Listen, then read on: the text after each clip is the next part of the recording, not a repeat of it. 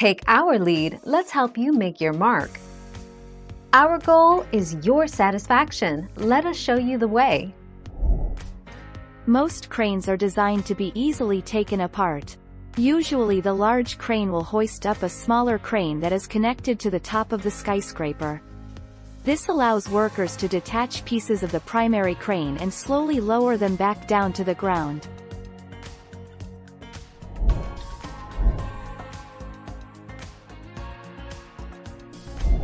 Let's help you make your mark. Tower cranes also have moved to electric power, supplied either by generator or from the city grid. Mobile cranes, such as all-terrain cranes and rough terrain cranes, do not have that luxury and would have to rely on batteries. But the power demands of such cranes can be very large. 14 February 2019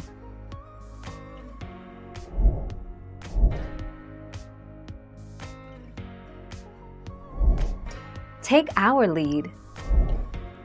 As the building grows, the crane can grow too. When the building is finished, the crane simply disassembles itself until close enough to the ground for a mobile, typically truck-mounted crane, to disassemble.